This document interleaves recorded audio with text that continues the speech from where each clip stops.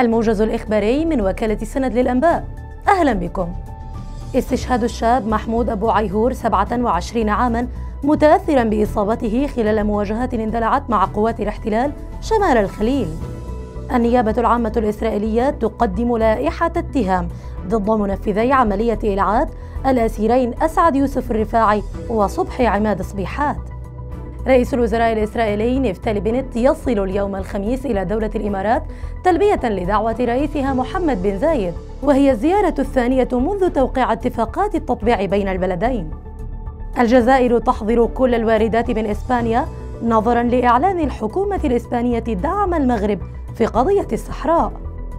إنستغرام يعلن عن ميزات جديدة ستهم الملايين من مستخدميه أبرزها ميزة استعادة المنشورات المحذوفة. نهاية الموجز. في أمان الله.